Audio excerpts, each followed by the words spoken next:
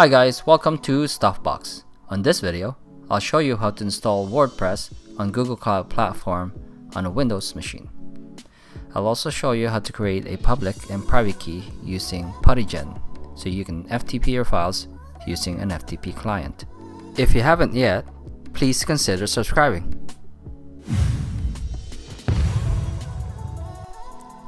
For this video, I'll assume you have created your Google Cloud Platform account already. If you have not yet, the link on how to sign up for Google Cloud Platform is on this video description. So open your Google Cloud Platform account and click on Marketplace. The Marketplace has a bunch of pre-configured templates. From the Marketplace, search WordPress.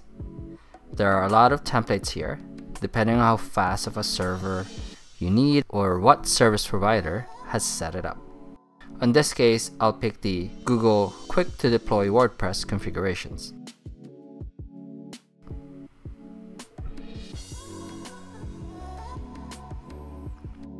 From here, if you scroll down, you will see how much this server configuration will cost you per month. Okay, so now let's uh, scroll up and let's click the button Launch on Compute Engine.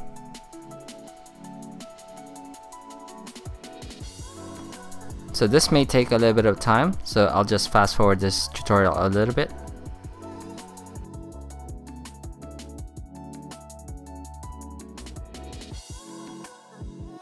So now it's done configuring the API. You can see from the different boxes here under machine type, you can adjust the CPU and there's multiple CPU and of course if you choose a faster one it'll be more charged for you per month zone is the multiple servers around the world the last letter of the server just means it's the latest server from the bunch under deployment name you can name it to whatever you want on this test, we'll leave it as WordPress multisite 1. So now let's fill out the administrator email address. I'll put my email here. Scroll down. All the settings should be fine. And I'll just tick allow HTTPS traffic. Scroll down some more. last thing here is checking I accept GCP Marketplace Terms of Service. Feel free to read it first before you check it, and then click deploy. This could take a little bit more time, so I'll just fast forward the video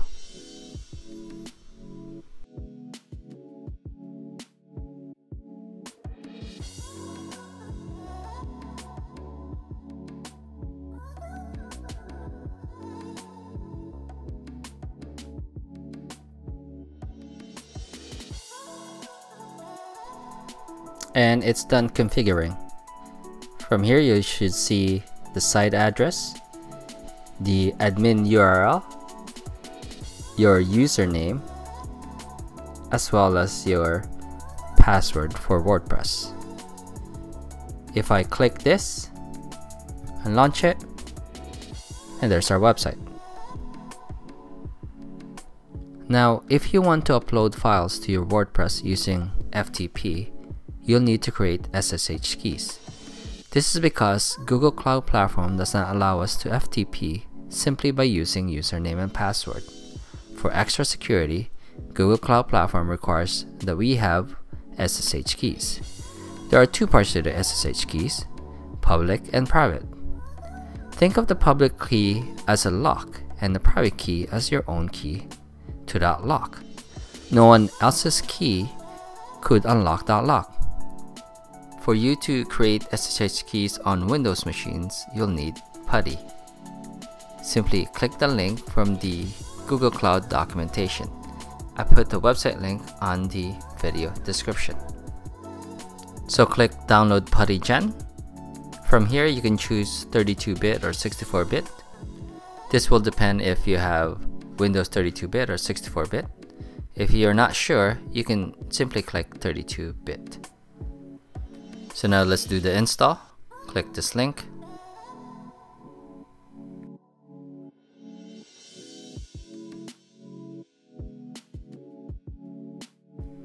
Click next.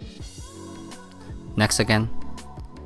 And here I'm just gonna add shortcut to my desktop and then install. Click yes. I'm going to uncheck this and then click finish so now that we are done installing PuTTY let's launch PuTTY so I'm just going to search PuTTyGen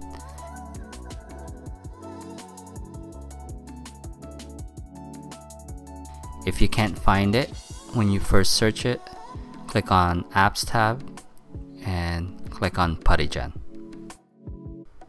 Click on Generate button.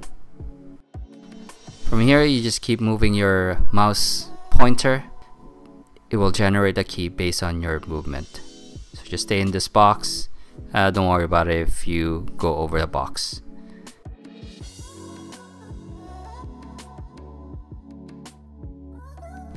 So now that it's done generating a key, let's fill out some fields here. Under comment, you want to put the username that you want. I'm just going to put admin. Under passphrase, that's optional, but just for extra security, I will put a passphrase. And I'm going to save the private key under my desktop I'll just create a uh, folder so I know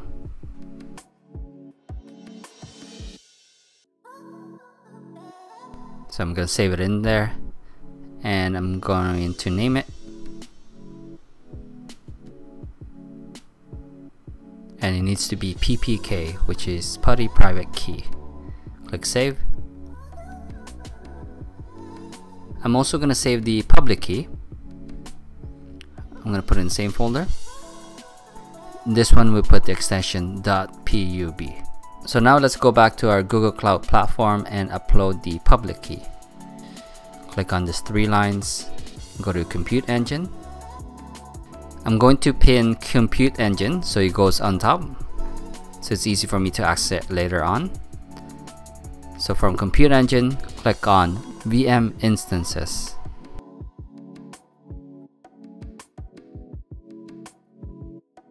So from here, it will list all your VM.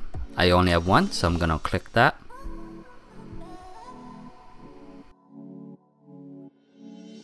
And we'll click on edit.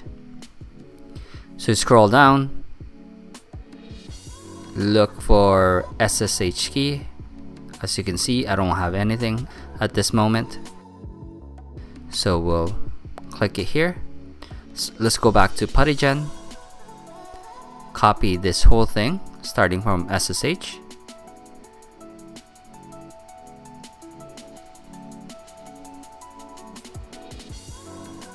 and then paste it on that box.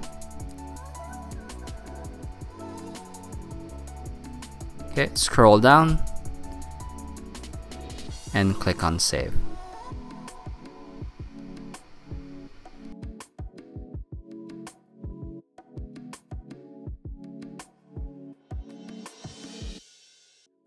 So now that we have uploaded the public key, let's test it out.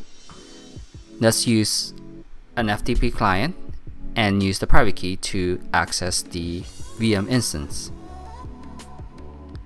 So I'm going to search FileZilla.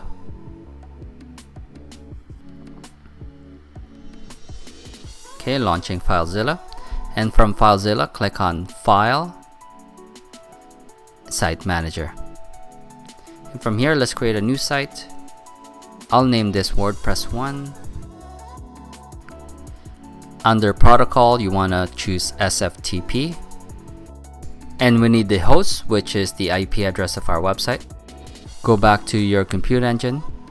If you still have it loaded, this is the IP that we need. Copy this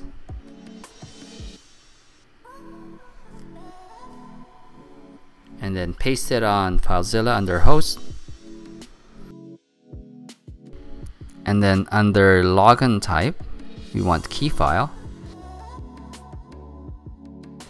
User that's a comment that we put in admin. And then let's locate the private key. So I put it on my desktop under WordPress 1 and this is the PPK click OK. And then click OK again alright let's test it out. From this icon click on WordPress 1 enter the passphrase that we uh, that you put in. If you didn't put anything just click OK. And we are connected. That's it. So from here if you want to locate the WordPress website just click on the three dots